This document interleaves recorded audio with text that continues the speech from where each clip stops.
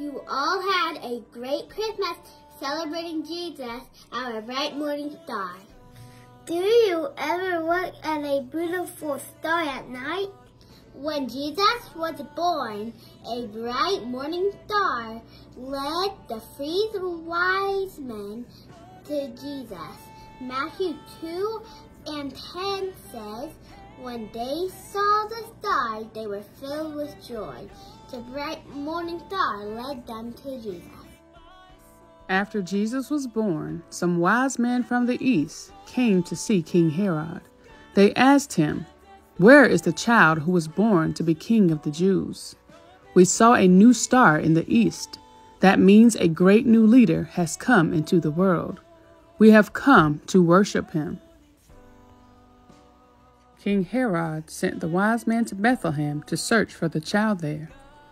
The wise men set out. The star they had seen in the east went on ahead of them. Finally, it stopped over a house in Bethlehem. The men went into the house and saw the child with Mary. They got down on their knees and worshiped him.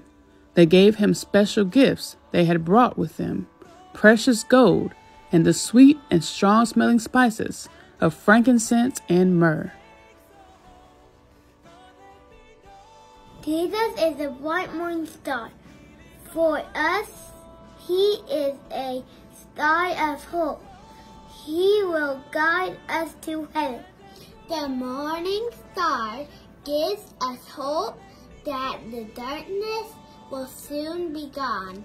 Jesus fills our hearts with hope, light, and joy, and remind us that the darkness of this world will soon pass away if we follow him.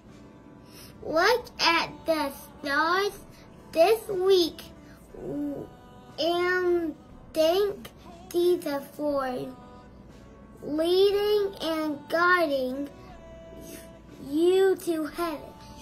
Start your new year with hope. Let Jesus, the bright morning star, lead and guide you. Have